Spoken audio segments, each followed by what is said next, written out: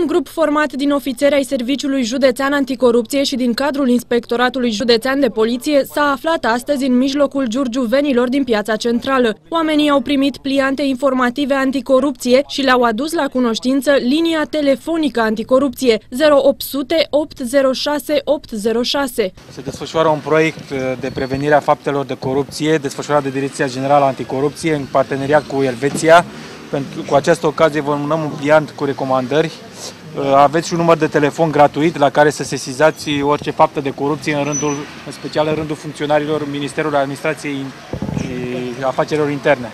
Nu toți cetățenii pe care polițiștii i-au oprit știau cum să sesizeze fapte de corupție, așa că organizarea acestei acțiuni a fost mai mult decât utilă pentru majoritatea. Cum vi se pare această acțiune? Foarte bună. Da. Ați auzit de ea până acum? Am auzit, da. Știați cum să sesizați faptele de corupție? Da, știam. Știam că am uh, o societate comercială și am lucrări în București, știam. Mă bucur foarte mult, mai ales pentru voi tinerii, că aveți șansa de a descoperi anumite chestii pe care noi ăștia mai în vârstă nu avem de unde să le știm. Știați până acum unde trebuie să sesizați faptele de corupție? Nu, adevărul ăsta este că nu. E bun, e bine. Știați până acum unde să sunați? Nu știam. Foarte bine ați făcut că ne-ați învățat, ne-ați arătat.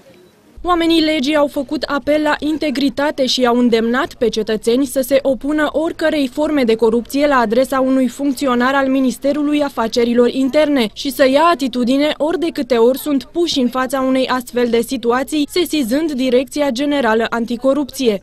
Astăzi ne aflăm aici pentru a demonstra că o campanie de prevenire costă mult mai puțin decât combaterea și faptul că un funcționar public ce a fost cercetat um, și a săvârșit săvârșit fapte de corupție nu mai poate activa într-o structură de stat. Acțiunea a urmărit conștientizarea cetățenilor cu privire la riscurile implicării în fapte de corupție, precum și informarea acestora cu privire la modalitățile de luptă împotriva acestui fenomen.